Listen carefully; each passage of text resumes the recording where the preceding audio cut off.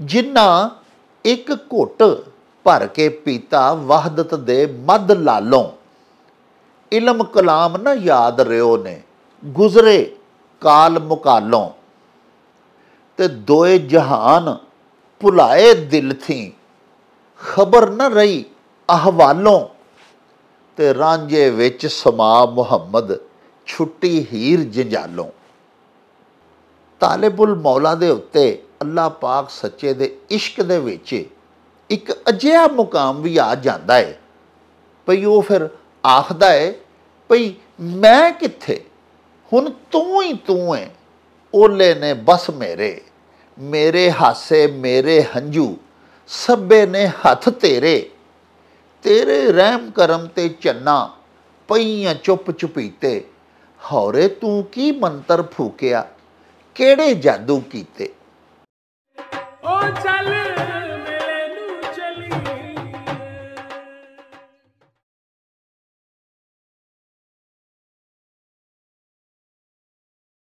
ਬਿਸਮਿਲ੍ਲਾਹਿਰਰਹਿਮਾਨਿਰਰਹੀਮ ਸ਼ੁਰੂ ਖੁਦਾ ਦੇ ਨਾਮੋਂ ਜਿਸ ਦਾ ਜੋੜ ਜਵਾਬ ਨਾ ਕੋਈ ਜਿਸ ਦੀ ਰਹਿਮਤ ਬਖਸ਼ਿਸ਼ ਵਾਲਾ ਅੰਤ ਹਿਸਾਬ ਨਾ ਕੋਈ ਪਿਆਰੇ ਵੇਖਣ ਵਾਲਿਓ, ਪੰਜਾਬੀ ਮਾਂ ਬੋਲੀ ਦੇ ਜ਼ੁਬਾਨੋਂ ਅਦਬ ਤੇ ਸਕਾਫਤ ਦੇ ਫਰੋਗ ਤੇ ਵਧਾਵੇ ਤੇ ਚੜਤਲ ਲਈ ਸ਼ੁਰੂ ਕੀਤੇ ਜਾਣ ਵਾਲੇ ਤੁਹਾਡੇ ਆਪਣੇ YouTube ਚੈਨਲ ਮੇਲਾ ਟੀਵੀ ਦੇ ਉੱਤੇ ਤੁਹਾਨੂੰ ਦਿਲ ਦੀਆਂ ਡੁੰਗਿਆਈਆਂ ਤੋਂ ਸਤ ਬਿਸਮਿਲ੍ਲਾ ਤੇ ਜੀ ਆਇਆਂ ਨੂੰ ਆਖਨੇ ਆ ਪਿਆਰਿਓ, ਸਾਡਾ ਇਹ ਤਰਲਾ ਹੈ ਭਈ ਆਪਣੇ ਇਸ ਚੈਨਲ ਨੂੰ ਸਬਸਕ੍ਰਾਈਬ ਕਰ ਲਵੋ। ਨਾਲ ਬਣਿਆ ਹੋਇਆ ਘੰਟੀ ਦਾ ਬਟਨ ਜ਼ਰੂਰ ਦਬਾਇਆ ਜੇ। ਪਿਆਰਿਓ, ਸਾਡੇ ਵਲੌਗਸ ਨੂੰ ਲਾਈਕ ਵੀ ਕਰਿਆ ਕਰੋ ਤੇ ਆਪਸ ਦੇ ਵਿੱਚ ਸ਼ੇਅਰ ਵੀ ਕਰਿਆ ਕਰੋ। ਤੇ ਪਿਆਰਿਓ, ਆਪਣੇ ਕਮੈਂਟਸ ਸਾਨੂੰ ਜ਼ਰੂਰ ਭਿਜਵਾਇਆ ਕਰੋ, ਜਿਹੜੇ ਕਿ ਸਾਡੇ ਲਈ ਬੜੀ ਹਲਾਸ਼ੇਰੀ ਦਾ ਮੂਜਬ ਹੁੰਦੇ ਨੇ। ਤੇ ਨਾਲੇ ਅਸੀਂ ਤੁਹਾਡੇ ਕਮੈਂਟਸ ਦੇ ਚਾਨਣੇ ਆਪਣੀ ਗੱਲਬਾਤ ਨੂੰ ਮਜ਼ੀਦ ਸ਼ਿੰਗਾਰਨ ਤੇ ਸਵਾਰਨ ਦਾ ਆਰ ਤੇ ਯਤਨ ਵੀ ਕਰਦੇ ਰਹਿੰਦੇ ਆ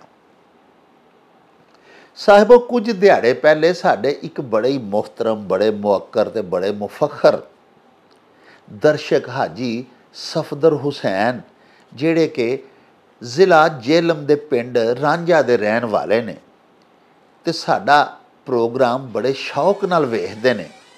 ਉਹਨਾਂ ਸਾਨੂੰ ਹਜ਼ਰਤ ਮੀਆਂ ਮੁਹੰਮਦ ਬਖਸ਼ ਸਾਹਿਬ ਆਰਿਫੇ ਖੜੀ ਰੂਮੀਏ ਪਾਕਿਸਤਾਨ ਦੇ ਦੋ ਬੜੇ ਹੀ ਮਾਨੀ ਖੇਜ਼ ਅਸ਼ਆਰ ਭਿਜਵਾਏ ਸਨ ਤੇ ਸਾਨੂੰ ਹੁਕਮ ਦਿੱਤਾ ਸੀ ਹਾਜੀ ਸਫਦਰ ਹੁਸੈਨ ਸਾਹਿਬ ਨੇ ਭਈ ਇਹਨਾਂ ਦਾ ਤਰਜਮਾ ਤੇ ਸ਼ਰਾ ਅਸੀਂ ਉਹਨਾਂ ਦੇ ਤੇ ਤੁਹਾਡੇ ਹਜ਼ੂਰ ਬਿਆਨ ਕਰੀਏ। ਜਿਹੜੇ ਹਾਜੀ ਸਫਦਰ ਹੁਸੈਨ ਸਾਹਿਬ ਨੇ ਸਾਨੂੰ ਮੀਆਂ ਸਾਹਿਬ ਦੇ ਸ਼ੇਰ ਭਿਜਵਾਏ ਸਨ, ਉਹ ਇਸ ਤਰ੍ਹਾਂ ਸਨ ਭਈ ਜਿਨ੍ਹਾਂ ਇੱਕ ਘੁੱਟ ਭਰ ਕੇ ਪੀਤਾ ਵਹਦਤ ਦੇ ਮਦ ਲਾਲੋਂ। ਇਲਮ ਕਲਾਮ ਨਾ ਯਾਦ ਰਿਓ ਨੇ, ਗੁਜ਼ਰੇ ਕਾਲ ਮੁਕਾਲੋਂ। ਤੇ ਦੋਏ ਜਹਾਨ ਭੁਲਾਏ ਦਿਲ ਥੀ, ਖਬਰ ਨਾ ਰਹੀ ਅਹਵਾਲੋਂ। ਤੇ ਰਾਂਝੇ ਵਿੱਚ ਸਮਾ ਮੁਹੰਮਦ, ਛੁੱਟੀ ਹੀਰ ਜੰਜਾਲੋਂ। ਪਿਆਰਿਓ ਮੈਂ ਅੱਗੇ ਵੀ ਆਪਣੇ ਇੱਕ ਪ੍ਰੋਗਰਾਮ ਦੇ ਵਿੱਚ, ਇੱਕ ਵਲੌਗ ਦੇ ਵਿੱਚ ਤੁਹਾਡੇ ਹਜ਼ੂਰ ਇਹ ਬਿਆਨ ਕਰ ਚੁੱਕਾ ਕਿ ਦਰਵੇਸ਼ ਜਿਹੜੇ ਨੇ, ਸੂਫੀਆ ਜਿਹੜੇ ਨੇ, ਅੱਲਾਹ ਪਾਕ ਦੇ ਔਲੀਆ ਜਿਹੜੇ ਨੇ, ਉਹਨਾਂ ਦੀ ਗੱਲ ਦੇ ਵਿੱਚ ਬਹੁਤ ਸਾਰੇ ਰਮੂਜ਼ ਪਿਨਹਾ ਹੁੰਦੇ ਨੇ। ਉਹਨਾਂ ਦੀ ਗੱਲ ਦੇ ਵਿੱਚ ਗੱਲ ਲੁਕੀ ਹੁੰਦੀ ਏ। ਤੇ ਵਿਚਲੀ ਗੱਲ ਨੂੰ ਲੱਭਣਾ ਤੇ ਜਾਂਚਣਾ ਪੈਂਦਾ ਏ। ਫਿਰ ਫੁਕਾਰਾ ਦਾ ਕਲਾਮ ਸਮਝ ਦੇ ਵਿੱਚ ਆਉਂਦਾ ਹੈ ਹਜ਼ੂਰ ਮੀਆਂ ਸਾਹਿਬ ਦੇ ਇਹਨਾਂ ਸ਼ੇਰਾਂ ਦਾ ਲਫ਼ਜ਼ੀ ਤਰਜਮਾ ਇਸ ਤਰ੍ਹਾਂ ਹੈ ਭਈ ਜਿੰਨਾ ਇੱਕ ਘੁੱਟ ਭਰ ਕੇ ਪੀਤਾ, ਵਹਦਤ ਦੇ ਮਦ ਲਾਲੋਂ ਅਜੇ ਲੋਕ ਜਿਨ੍ਹਾਂ ਤੋਂ ਇਸ਼ਾਰਾ ਤੇ ਔਲੀਆ ਅੱਲਾ ਵੱਲ ਹੁੰਦਾ ਹੈ ਕਿਉਂਕਿ ਅੱਗੇ ਜਿਹੜੀਆਂ ਸਿਫਾਤ ਬਿਆਨ ਕੀਤੀਆਂ ਗਈਆਂ ਨੇ, ਉਹ ਪਿਆਰਿਓ, ਸਾਡੇ ਵਰਗੇ ਦੁਨੀਆਦਾਰਾਂ, ਗੁਨਾਹਗਾਰਾਂ ਦੀਆਂ ਸਿਫਤਾਂ ਨਹੀਂ। ਹਜ਼ੂਰ ਮੀਆਂ ਸਾਹਿਬ ਪੈ ਫਰਮਾਉਂਦੇ ਨੇ, ਆਪ ਜੀ ਨੂੰ ਆਰਿਫੇ ਖੜੀ ਤੇ ਰੂਮੀਏ ਪਾਕਿਸਤਾਨ ਵੀ ਆਖਿਆ ਜਾਂਦਾ ਹੈ। ਤੇ ਫਰਮਾਉਂਦੇ ਨੇ ਪਏ ਵੀ ਜਿੰਨਾ ਇੱਕ ਘੁੱਟ ਭਰ ਕੇ ਪੀਤਾ, ਵਹਦਤ ਦੇ ਮਦ ਲਾਲੋਂ ਮਦ ਪਿਆਰਿਓ, ਸ਼ਹਿਦ ਨੂੰ ਵੀ ਆਖਿਆ ਜਾਂਦਾ ਹੈ ਔਰ ਸ਼ਰਾਬ ਨੂੰ ਵੀ ਆਖਿਆ ਜਾਂਦਾ ਹੈ ਮਦ ਤੋਂ ਤੁਸੀਂ ਅਕਸਰ ਲਫ਼ਜ਼ ਸੁਣਿਆ ਹੈ। ਮਾਦੂ ਮੱਖੀ, ਅਜਿਹੀਆਂ ਮੱਖੀਆਂ ਜਿਹੜੀਆਂ ਸ਼ਹਿਦ ਦੀਆਂ ਮੱਖੀਆਂ ਹੋਣ, ਉਹਨਾਂ ਨੂੰ ਮਧੂ ਮੱਖੀਆਂ ਕਿਹਾ ਜਾਂਦਾ ਹੈ ਉਰਦੂ ਦੇ ਵਿੱਚ ਮਧੂ ਮਾਖੀ ਇਸੇ ਤਰ੍ਹਾਂ ਹੀ ਪਿਆਰਿਓ ਮਦ ਭਰੇ ਨੈਣ ਮਦ ਮਾਤਾ, ਮਖਮੂਰ ਜਿਹਾ ਇੰਜ ਨਸ਼ਈਆਂ ਵਾਂਗਰ ਰਹਿਣ ਵਾਲਾ ਜਿਹੜਾ ਬੰਦਾ ਨਾ ਖੋਇਆ ਖੋਇਆ ਰਵੇ ਕਰੇ, ਮਸਤ ਮਸਤ, ਉਹਨੂੰ ਵੀ ਅਸੀਂ ਆਖਨੇ ਆ ਇਹ ਤੇ ਮਦ ਮਾਤਾ ਹੈ। ਯਾਨੀ ਇਸ ਤਰ੍ਹਾਂ ਜਿਵੇਂ ਇਹਨੇ ਕੋਈ ਸ਼ੈ ਪੀਤੀ ਹੈ ਨਸ਼ੇ ਵਾਲੀ। ਤੇ ਮਦ ਮੈਂ ਤੁਹਾਡੀ ਖਿਦਮਤ ਵਿੱਚ ਅਰਜ਼ ਕੀਤਾ ਹੈ, ਮੀਮ ਦਾਲ ਤੇ ਦੋ ਅੱਖੀਆਂ ਵਾਲੀ ਹੈ। ਲੁਗਾਤ 'ਚ ਤੁਸੀਂ ਇਹਦੇ ਮਾਨੇ ਜਾ ਕੇ ਫਰੋਲੋਗੇ, ਤਲਾਸ਼ ਕਰੋਗੇ, ਖੋਜ ਕਰੋਗੇ ਤੇ ਸ਼ਹਿਦ ਵੀ ਲਿਖਿਆ ਹੈ। ਹੁਣ ਮਦ ਲਾਲੋਂ ਯਾਨੀ ਸੁਰਖ ਸ਼ਹਿਦ, ਉਹ ਬੜਾ ਹੀ ਕੀਮਤੀ ਹੁੰਦਾ ਹੈ। ਛੋਟੀ ਮੱਖੀ ਦਾ ਤੇ ਫੁੱਲਾਂ ਦਾ ਜਿਹੜਾ ਰਸ ਹੁੰਦਾ ਹੈ, ਉਹਨੂੰ ਮਦ ਲਾਲ ਆਖਿਆ ਜਾਂਦਾ ਹੈ, ਯਾਨੀ ਸੁਰਖ ਸ਼ਹਿਦ। ਇਸੇ ਤਰ੍ਹਾਂ ਹੀ ਸੁਰਖ ਸ਼ਰਾਬ ਨੂੰ ਮਏ ਆਤਸ਼ੀਆਂ ਆਖਦੇ ਨੇ। ਸੁਰਖ ਰੰਗ ਦੀ ਜਿਹੜੀ ਸ਼ਰਾਬ ਹੁੰਦੀ ਹੈ। ਤੇ ਇੱਥੇ ਹਜ਼ੂਰ ਮੀਆਂ ਸਾਹਿਬ ਪਾ ਫਰਮਾਉਂਦੇ ਨੇ ਵੀ ਅਜੇ ਲੋਕ ਜਿਨ੍ਹਾਂ ਨੇ ਇੱਕ ਘੁੱਟ ਪੀ ਲਿਆ ਤੋਹੀਦ ਦੀ ਮੈ ਦਾ ਤੋਹੀਦ ਦੀ ਸ਼ਹਿਦ ਦਾ ਇੱਕ ਘੁੱਟ ਚੱਖ ਲਿਆ ਹੈ। ਅਜੇ ਲੋਕ ਜਿਹੜੇ ਨੇ, ਉਹਨਾਂ ਨਾਲ ਫਿਰ ਕੀ ਹੁੰਦਾ ਇਲਮ ਕਲਾਮ ਨਾ ਯਾਦ ਰਿਓ ਨੇ। ਗੁਜ਼ਰੇ ਕਾਲ। ਮਕਾਲੋਂ ਹੁਣ ਅਗਰ ਇਲਮ ਤੇ ਕਲਾਮ ਵੱਖਰਾ ਵੱਖਰਾ ਪਿਆਰਿਓ, ਅਸੀਂ ਇਹਦਾ ਤਰਜਮਾ ਕਰੀਏ ਨਾ, ਤਾਂ ਇਲਮ ਉਹ ਚੀਜ਼ ਜਿਹੜੀ ਸਾਡੀ ਜਾਣ ਪਛਾਣ ਦੇ ਵਿੱਚ ਆ ਜਾਂਦੀ ਹੈ ਬਹੁਤ ਸਾਰੇ ਉਲੂਮ ਨੇ, ਕੋਈ ਇੱਕ ਇਲਮ ਤੇ ਨਹੀਂ।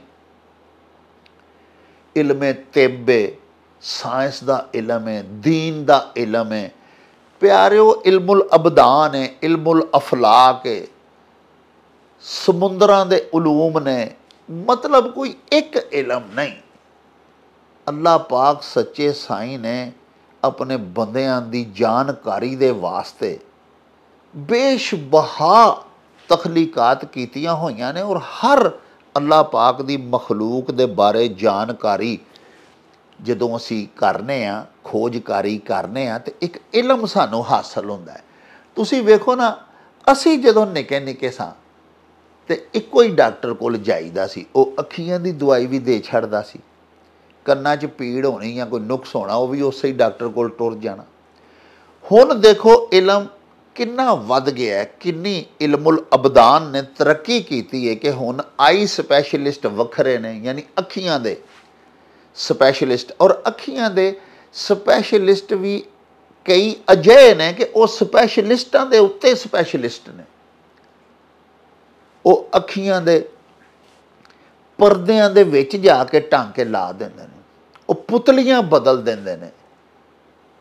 ਅਲਗਰਜ਼ ਮੈਂ ਅਰਜ਼ ਇਹ ਕਰ ਰਿਹਾ ਸਾਂ ਕਿ ਹੁਣ ਈਐਨਟੀ ਸਪੈਸ਼ਲਿਸਟ ਵੱਖਰੇ ਨੇ। ਹੁਣ ਖਵਾਤੀਨ ਦੀਆਂ, ਇਮਰਾਜ਼ ਦੀਆਂ ਅਲੱਗਾ ਡਾਕਟਰਸ ਨੇ, ਮਰਦ ਔਰ ਡਾਕਟਰਸ ਨੇ, ਖਵਾਤੀਨ ਗਾਇਨਾਕੋਲੋਜਿਸਟ ਨੇ ਮਾਹਿਰੀਨ ਇਮਰਾਜ਼ ਨਿਸਵਾ ਸੀ, ਉਹਨਾਂ ਨੂੰ ਆਖਨੇ ਆ ਇਸੇ ਤਰ੍ਹਾਂ ਜਿਲਦੀ ਇਮਰਾਜ਼ ਦੇ ਦੰਦਾਂ ਦੇ ਡੈਂਟਲ ਸਰਜਨਸ ਅਲੱਗਾ ਨੇ। ਮਤਲਬ ਮੈਂ ਅਰਜ਼ ਇਹ ਕਰ ਰਿਹਾ ਸਾਂ ਕਿ ਇਲਮਾਂ ਦਾ ਕੋਈ ਇਹਾਤਾ ਹੀ ਨਹੀਂ ਹੋ ਸਕਦਾ। ਕੋਈ ਅੰਤ ਹੀ ਨਹੀਂ। ਤੇ ਕਲਾਮ ਗੁਫ਼ਤਗੂ। ਇਲਮ ਕਲਾਮ ਨਾ ਯਾਦ ਰਿਓ ਨੇ।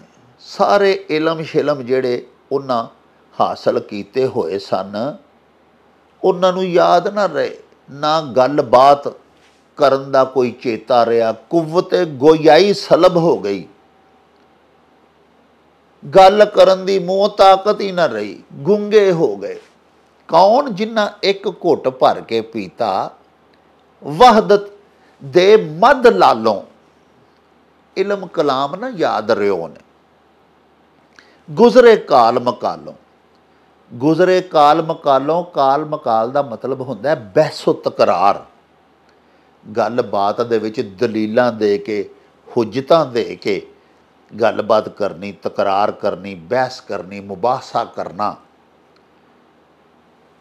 ਅਰਜ਼ ਮੈਂ ਕੀਤੀ ਸੀ ਕਿ ਜੇ ਇਲਮ ਤੇ ਕਲਾਮ ਨੂੰ ਵੱਖਰਾ ਵੱਖਰਾ ਪੜ੍ਹੀਏ, ਤੇ ਫਿਰ ਇਲਮ ਤੇ ਗੁਫ਼ਤਗੂ।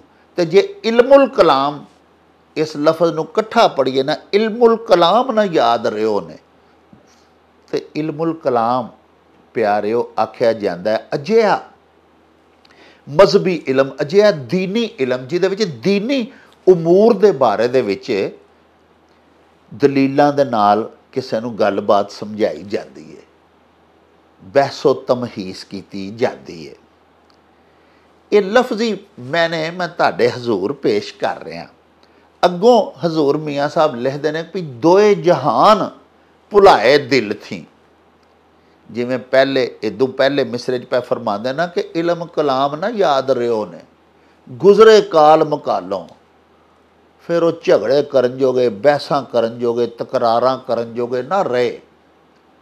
ਤੇ ਹੋਰ ਉਹਨਾਂ ਨਾਲ ਕੀ ਹੋਇਆ? ਵੀ ਦੋਏ ਜਹਾਨ ਭੁਲਾਏ ਦਿਲ ਥੀ। ਖਬਰ ਨਾ ਰਹੀ ਅਹਵਾਲੋਂ। ਹਾਲ ਦੀ ਜਮਾ ਅਹਵਾਲ ਹੈ ਕੈਫੀਆਤ। ਹਾਲਾਤ, ਅਹਵਾਲ। ਅਸੀਂ ਇੱਕ ਦੂਜੇ ਨੂੰ ਮਿਲਨੇ ਆ ਤੇ ਪੁੱਛਨੇ ਆ ਭਾਜੀ ਕੀ ਹਾਲ ਅਹਵਾਲ ਹੈ ਮਤਲਬ ਕੈਸੇ ਤੁਹਾਡੇ ਹਾਲਾਤ ਨੇ? ਕੈਸੀਆਂ ਕੈਫੀਆਤ ਦੇ ਵਿੱਚੋਂ ਗੁਜ਼ਰ ਰਹੇ ਹੋ? ਕੀ ਸਰਗੁਜ਼ਸ਼ਤ ਹੈ ਕੀ ਤੁਹਾਡੇ ਤੁਹਾਡੇ ਨਾਲ ਕੀ ਪਈ ਬਣਦੀ ਹੈ ਕੀ ਗੁਜ਼ਰਦੀ ਹੈ ਪਈ ਤੁਹਾਡੇ ਸਿਰ? ਅਹਵਾਲ ਹਾਲਾਤ ਨੂੰ ਆਖਿਆ ਜਾਂਦਾ ਹੈ। ਤੇ ਦੋਏ ਜਹਾਨ ਭੁਲਾਏ ਦਿਲ ਥੀ।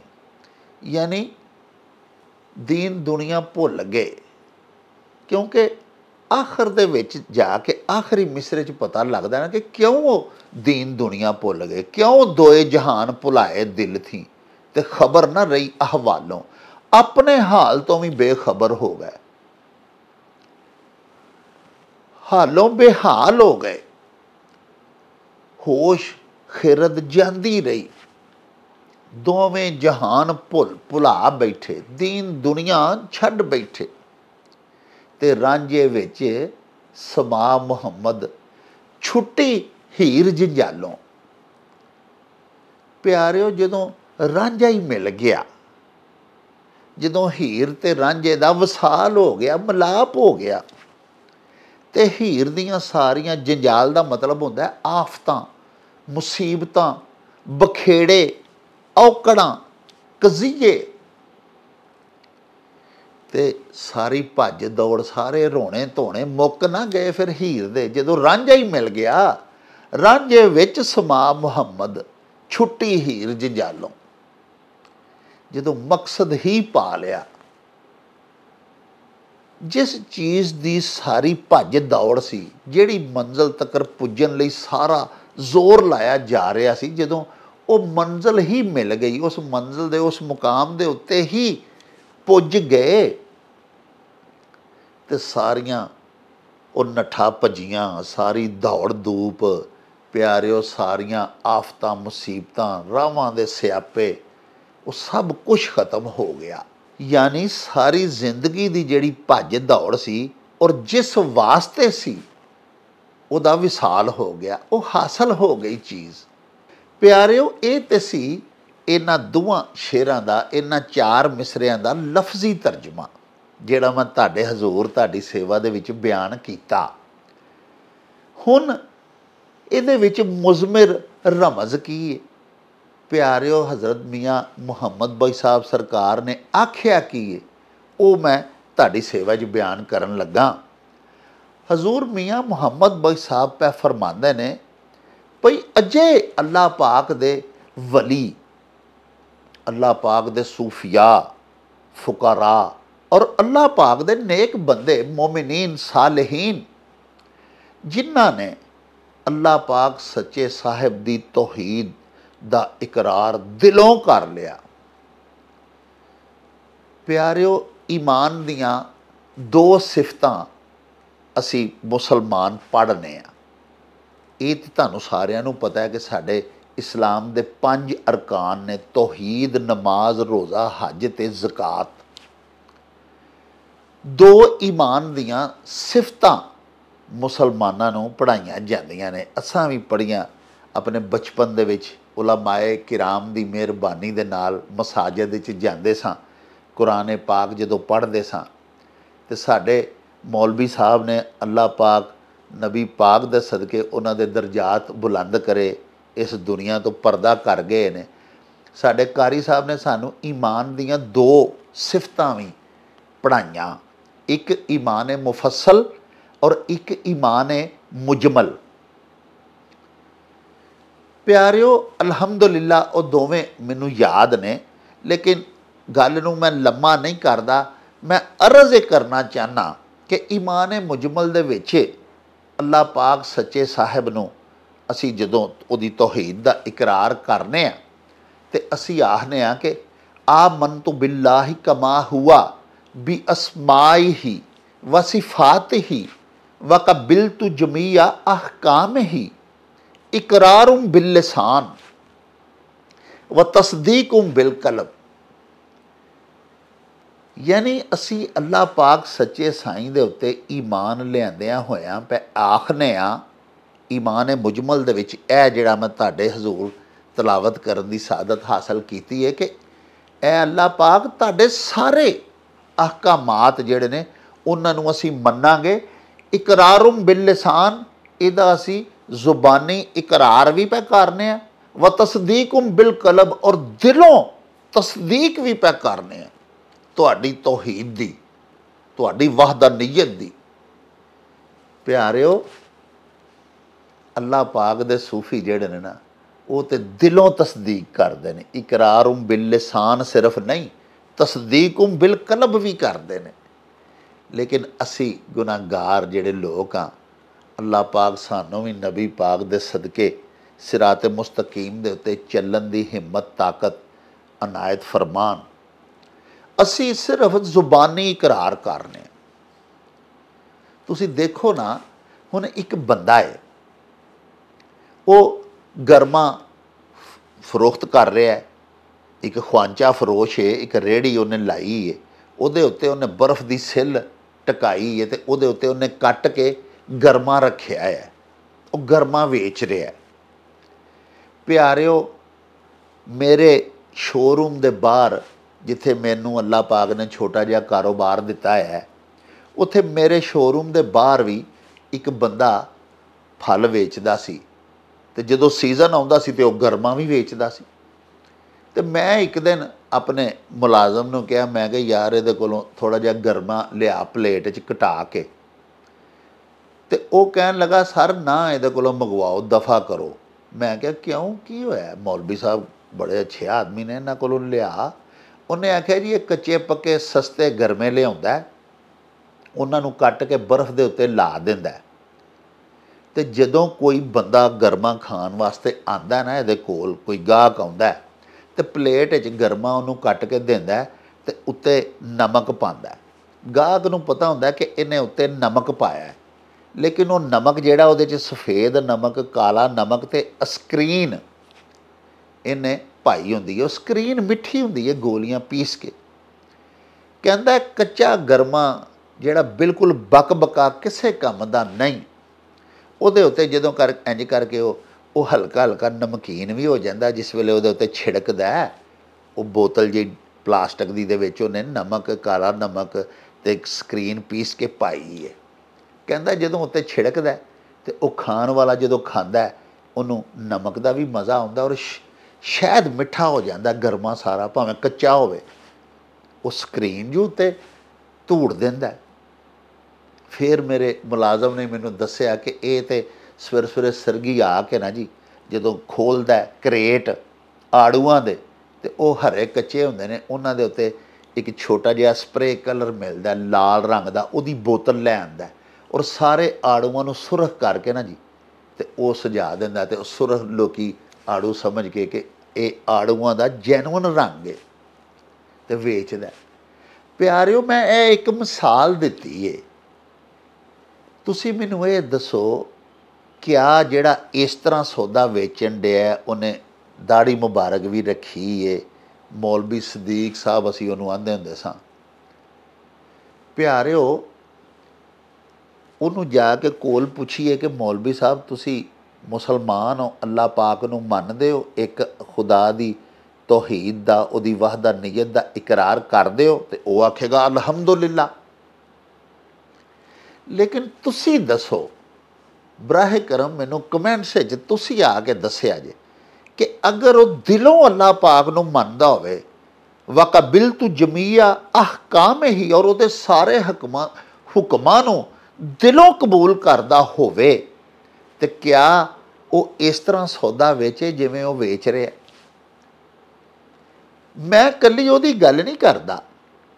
ਇਹ ਮੈਂ ਐਵੇਂ ਇੱਕ ਮਿਸਾਲ, ਇੱਕ ਵਣਗੀ ਦੇ ਤੌਰ ਤੇ ਗੱਲ ਕੀਤੀ ਹੈ ਮੈਂ ਵੀ ਉਸੇ ਤਰ੍ਹਾਂ ਹੀ ਗੁਨਾਹਗਾਰ ਔਰ ਬਦਕਾਰ ਆ ਪਿਆਰਿਓ, ਅਸੀਂ ਅੱਲਾਹ ਪਾਕ ਨੂੰ ਇੱਕ ਮੰਨਨੇ ਆ। ਅਸੀਂ ਉਹਨੂੰ ਕਾਦਰੇ ਮੁਤਲਕ ਮੰਨਨੇ ਆ।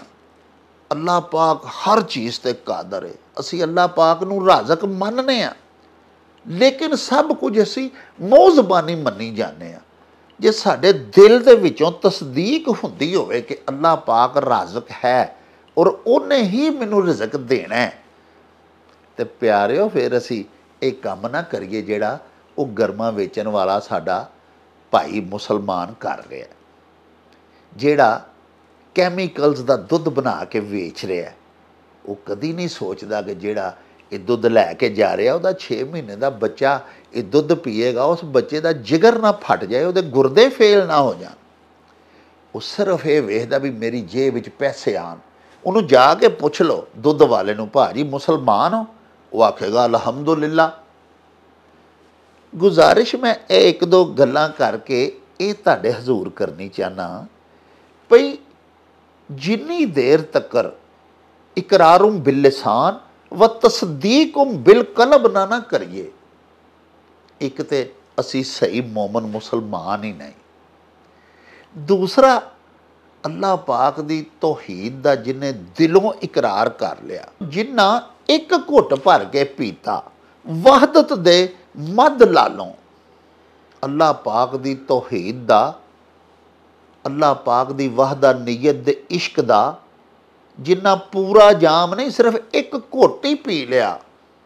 ਇਸ ਸੁਰਖ ਸ਼ਹਿਦ ਦਾ, ਇਸ ਮੈ ਸੁਰਖ ਦਾ ਮੈ ਆਤਸ਼ੀਨ ਦਾ, ਇਲਮ ਕਲਾਮ ਨਾ ਯਾਦ ਰਿਓ ਨੇ। ਗੁਜ਼ਰੇ ਕਾਲ ਮਕਾਲੋਂ, ਫਿਰ ਪਿਆਰਿਓ ਉਹ ਦੁਨੀਆ ਦੇ ਵਾਸਤੇ ਲੜਦਾ ਨਹੀਂ।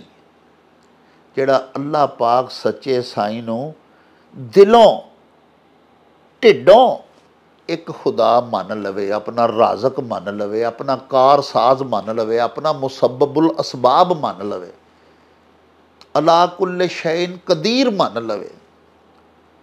ਪਿਆਰਿਓ, ਫੇਰ ਉਹ ਕਿਸੇ ਨਾਲ ਲੜੇ ਝਗੜੇਗਾ, ਉਹ ਫਿਰ ਰੋਟੀ ਤੋਂ ਜਾਂ ਰਿਜ਼ਕ ਤੋਂ ਜਾਂ ਪੈਸੇ ਕਮਾਉਣ ਤੋਂ ਕਿਸੇ ਗਰੀਬ ਦਾ ਹੱਕ ਮਾਰੇਗਾ? ਪਿਆਰਿਓ, ਉਹ ਕਦੀ ਕਿਸੇ ਨਾਲ ਜ਼ਿਆਦਤੀ ਨਹੀਂ ਕਰੇਗਾ। ਉਹਨੂੰ ਪਤਾ ਹੈ ਕਿ ਅੱਲਾਹ ਪਾਕ ਮੇਰਾ ਰਾਜ਼ਕ ਹੈ ਉਹਦੇ ਸਾਰੇ ਝਗੜੇ ਮੁੱਕ ਜਾਂਦੇ ਨੇ, ਉਹਦੇ ਪੈਂਡੇ ਖਤਮ ਹੋ ਜਾਂਦੇ ਨੇ। ਉਹਦੀ ਮੰਜ਼ਲ ਆ ਜਾਂਦੀ ਹੈ ਉਹ ਬਹਿਸ ਤਕਰਾਰ ਨਹੀਂ ਕਰਦਾ, ਉਹ ਲੜਾਈ ਪੜ੍ਹਾਈ ਨਹੀਂ ਕਰਦਾ। ਇਲਮ ਕਲਾਮ ਨਾ ਯਾਦ ਰਿਓ ਨੇ, ਗੁਜ਼ਰੇ ਕਾਲ। ਮਕਾਲੋਂ ਤੇ ਦੋਏ ਜਹਾਨ ਭੁਲਾਏ ਦਿਲ ਥੀ, ਖਬਰ ਨਾ ਰਹੀ ਹਵਾਲੋਂ। ਜਿਹੜਾ ਅੱਲਾਹ ਪਾਕ ਸੱਚੇ ਸਾਹਿਬ ਦੀ ਇਤਾਅਤ ਕਰਨ ਲੱਗ ਪੈਂਦਾ ਹੈ। ਦਿਲੋਂ ਹੋ ਕੇ ਅੱਲਾ ਪਾਕ ਨੂੰ ਇੱਕ ਮੰਨ ਕੇ ਔਰ ਵਕਬਿਲ ਤੂ ਜਮੀਆ ਅਹਕਾਮ ਹੀ ਉਹਦੇ ਹੁਕਮਾਂ ਨੂੰ ਕਬੂਲ ਕਰ ਲੈਂਦਾ ਹੈ।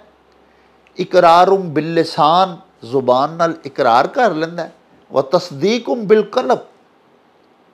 ਤੇ ਦਿਲ ਦੇ ਵਿੱਚੋਂ ਤਸਦੀਕ ਕਰਦਾ ਉਹਦੀਆਂ ਕੁਦਰਤਾਂ ਦੀ, ਉਹਦੀ ਵਹਦਤ ਦੀ।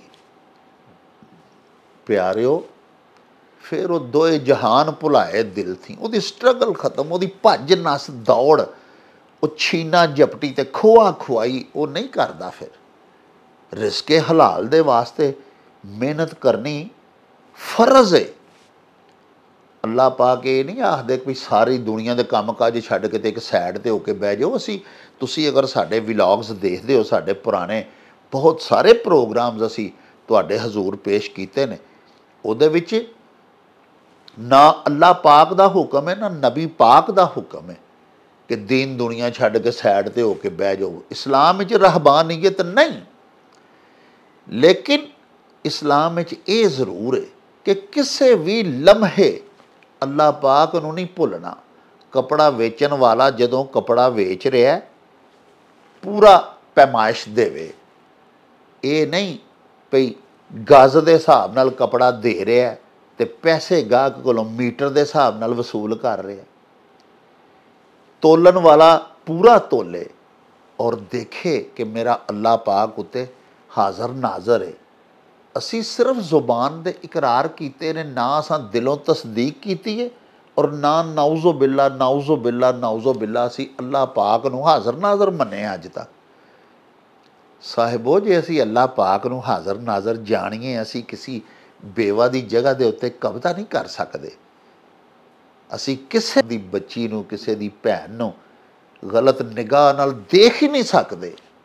ਜੇ ਅਸੀਂ ਸੋਚੀਏ ਕਿ ਅੱਲਾਹ ਪਾਕ ਹਾਜ਼ਰ ਔਰ ਨਾਜ਼ਰ ਨੇ, ਬਿਲਕੁਲ ਸਿੱਧਾ ਟਰੈਕ ਹੋ ਜਾਂਦਾ ਸਾਰੇ ਰੌਲੇ ਰੱਟੇ ਹੀ ਮੁੱਕ ਜਾਂਦੇ ਨੇ।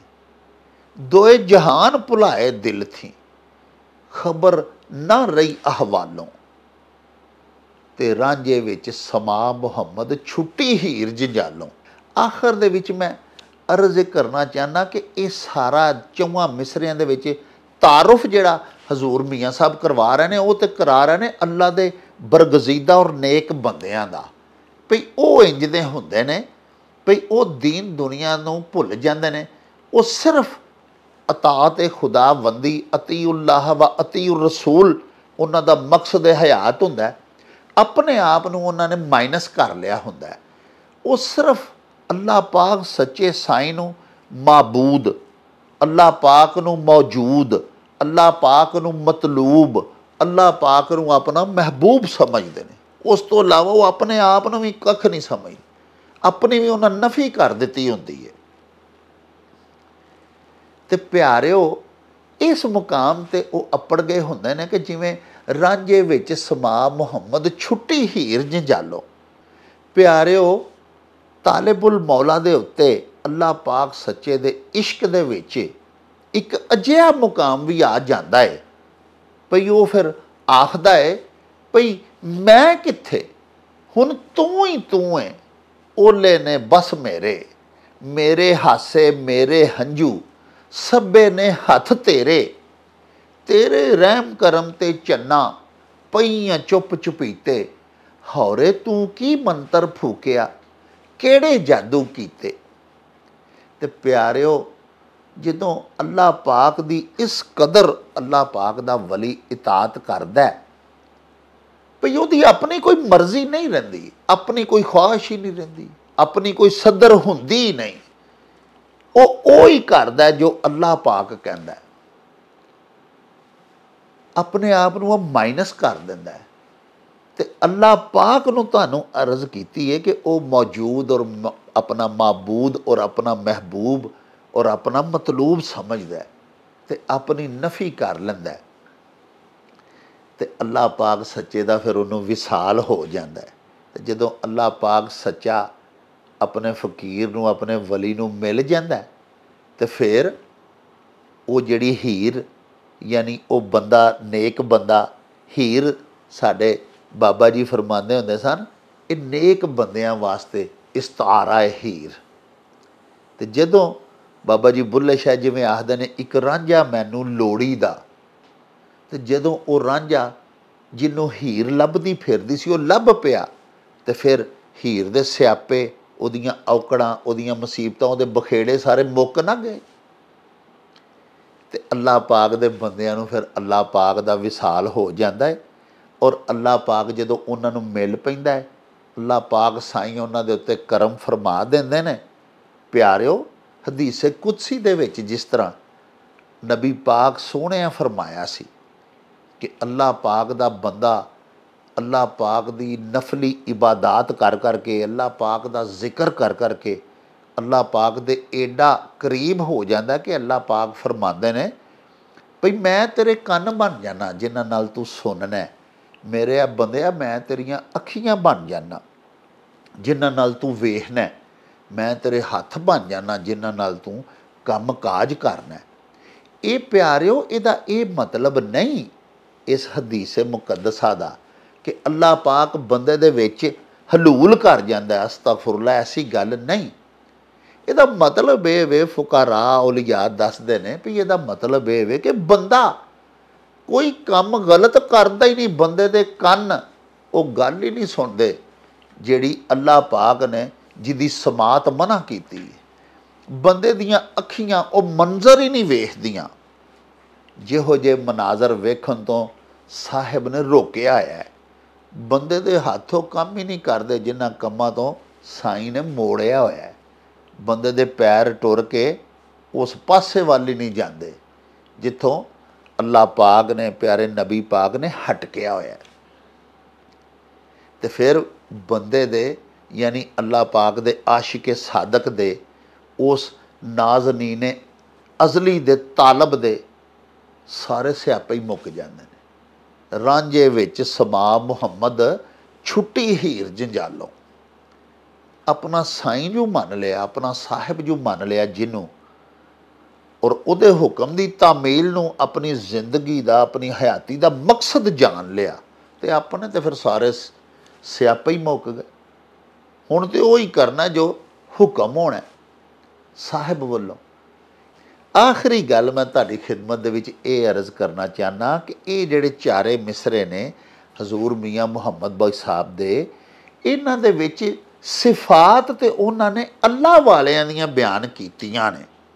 ਲੇਕਿਨ ਕਿਉਂਕਿ ਫਕੀਰ ਦਾ ਪੈਗਾਮ ਅੱਲਾ ਪਾਕ ਦੇ ਸਾਰੇ ਬੰਦਿਆਂ ਦੇ ਵਾਸਤੇ ਹੁੰਦਾ ਹੈ, ਇਸ ਲਈ ਸਾਡੇ ਵਾਸਤੇ ਇਹ ਪੈਗਾਮ ਹੈ ਕਿ ਤੁਸੀਂ ਵੀ ਔਲੀਆ ਤੇ ਫੁਕਰਾ ਦੀ ਤਕਲੀਦ ਤੇ ਇਤਬਾ ਕਰੋ। ਅੱਲਾ ਪਾਕ ਦੇ ਬਜ਼ੁਰਗਾਨ ਅੱਲਾ ਪਾਕ ਦੇ ਨੇਕ ਬੰਦੇ, ਸਾਲਹੀਨ, ਮੂਮਿਨੀਨ ਜਿਨ੍ਹਾਂ ਦੀਆਂ ਸਿਫਾਤ ਇਹਨਾਂ ਚੌਂ ਮਿਸਰਿਆਂ ਦੇ ਵਿੱਚ ਮੈਂ ਬਿਆਨ ਕੀਤੀਆਂ ਨੇ, ਮੀਆਂ ਮੁਹੰਮਦ ਬਾਈ ਸਾਹਿਬ ਪਾ ਫਰਮਾਉਂਦੇ ਨੇ ਭਈ ਤੁਸੀਂ ਵੀ ਉਹਨਾਂ ਦੀ ਪੈਰਵੀ ਕਰੋ, ਉਹਨਾਂ ਦਾ ਇਤਬਾ ਕਰੋ, ਉਹਨਾਂ ਦੇ ਮਗਰ ਟੁਰ ਪਵੋ, ਜੇ ਦੀਨ ਦੁਨੀਆ ਦੀ ਫਲਾਹ ਪਾਣੀ ਜੇ। ਸਾਹਿਬੋ, ਇਹਦੇ ਨਾਲ ਹੀ ਹੁਣ ਲਵਾਂਗਾ ਤੁਹਾਡੇ ਤੋਂ ਇਜਾਜ਼ਤ। ਲੈ ਉਹ ਯਾਰ ਹਵਾਲੇ ਰੱਬ ਦੇ ਤੇ ਮੇਲੇ ਚਾਰ ਦਿਨਾਂ ਦੇ। ਉਸ ਦਿਨ ਈਦ ਮੁਬਾਰਕ ਹੋਸੀ ਜਿਸ ਦਿਨ ਫੇਰ ਮਿਲਾਂਗੇ ਰੱਬ ਰਾਖਾ ਤੇ ਅੱਲਾ ਬੇਲੀ ਓ ਚੱਲ